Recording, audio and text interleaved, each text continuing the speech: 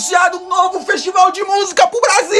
Não é qualquer um, pois ele não só vem com DNA de grandes eventos do passado em território brasileiro, como também já conta com locais, datas, uma primeira atração confirmada e outra que eu suponho. Tô falando do C6 Fest, que rolará no Brasil em maio. Assinado pela Dueto Produções, o evento promete uma curadoria espetacular. Não é pra menos, pois Ronaldo Lemos e companheiros responsáveis por trazer grandes atrações nos festivais do final dos anos 90 e início dos 2000, porque na época que não existiam Lolas e Primaveras, o brasileiro aproveitava o Free Jazz Festival, um dia já trouxe nomes de Ben Harper a Massive Attack, e o Festival, com atrações indo de Yeah MGMT, passando por Bjork, Arctic Monkeys, The Killers, dentre tantos outros. Não bastasse todo esse pedigree, o Estadão soltou várias informações sobre a primeira edição do C6. Ficou curioso? Não esquece de dar o like e me seguir para futuras atualizações de festivais de música no Brasil. O Luna informa que em São Paulo o evento ocupará vários espaços do Parque do Ibirapuera entre os dias 19, 20 e 21 de maio. Bem, também teremos uma edição no Rio de Janeiro, ainda sem muitos detalhes. O que importa mesmo são as atrações e já temos o primeiro nome confirmado. É o indie folk pop melancólico que a Natalie Mary entrega com seu projeto Wise Blood. Uma das turnês mais esperadas do mundo tem review pro último álbum dela no canal. Já no campo da especulação, eu suponho que o expoente grupo de música eletrônica Kraftwerk também esteja no Eles que já vieram pelas mãos dessa produção para o antigo Free Jazz foram recentemente anunciados pelo jornalista Flash para virem no final daquele mês. É as que mais inacreditável os fãs de música e festival terão com o Mita e agora o C6. Afinal,